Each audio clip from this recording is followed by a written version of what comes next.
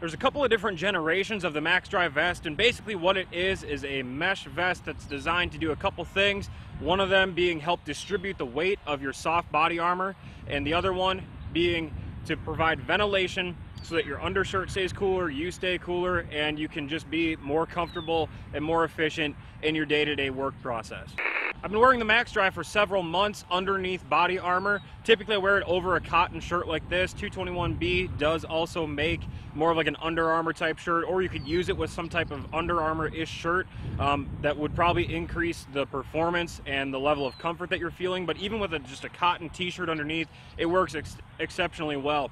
So generally I put on a 221B Maxx-Dri, then I put my softer armor on over the top, then a duty shirt or a polo on over the top of that.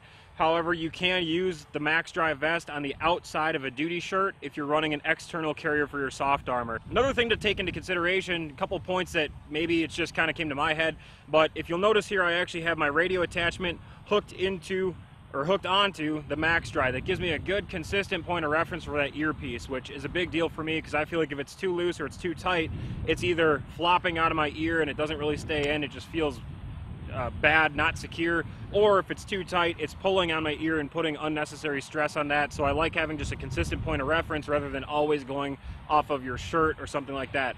So that's definitely a positive. The second positive that I see is that being that I just wear soft body armor uh, directly over the Maxx-Dri and a t-shirt, having some breathability there helps separate my body sweat from getting onto my armor. And that's what's gonna break down your ballistic panels in a Kevlar vest is sweating. As far as sizing goes, I'm pretty sure that 221B suggests going one size smaller with your Maxx-Dri than what your t-shirt size is. So I wear a large t-shirt and I have a medium Maxx-Dri on there.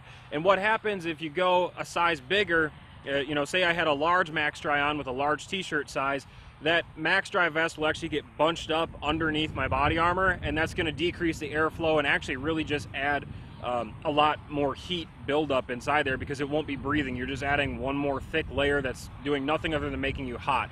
But refer to the 221B tactical site for sizing. They got great sizing charts and great information on there. One of the first things that I noticed was the additional size space, the additional circumference of my body prior to putting on my body armor with the Maxx-Dri underneath. So considering the thickness of the Maxx-Dri vest, when you're talking about the front and the back panel, you have roughly a half inch of additional material underneath your armor um, and underneath your work shirt. I wouldn't say that it by any stretch of the imagination hinders or limits your mobility, but you do feel that extra material underneath there. And one of the things you want to be careful with when you put your body armor on over the top of your Maxx-Dri is that you don't over tighten it.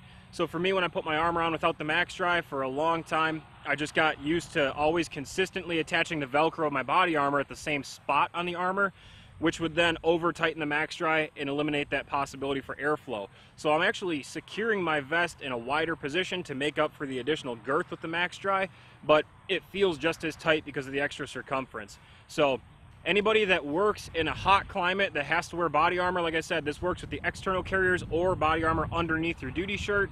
I highly suggest that you check out the Maxx-Dri vest and check out the other shirts that they have. They're moisture wicking shirts if you don't want to run something like a cotton t-shirt underneath that. So a lot of good stuff coming out of there. It's worth the money. I believe it comes in right around 85 or $90 and it's money well spent to prolong the the lifespan of your vest. Again, keeping that sweat off your body armor and the deterioration rate down a little bit and it also just makes you that much more comfortable so at the end of a long shift when you peel off your armor and your Maxx-Dri you might have some sweat built up on your shirt depending on how hot it is or how long you're wearing it but it's significantly less sweat and odor and all that other stuff with the Maxx-Dri. So outstanding product. We hope that armed professionals out there that have to wear body armor come across this video. I think it's gonna make you a lot more comfortable on the job. Stay safe out there, everybody. We'll see you next time, and we never quit. It's all war. My God, it was about my heart, the back and forth, but I never give up, cause come from a part that's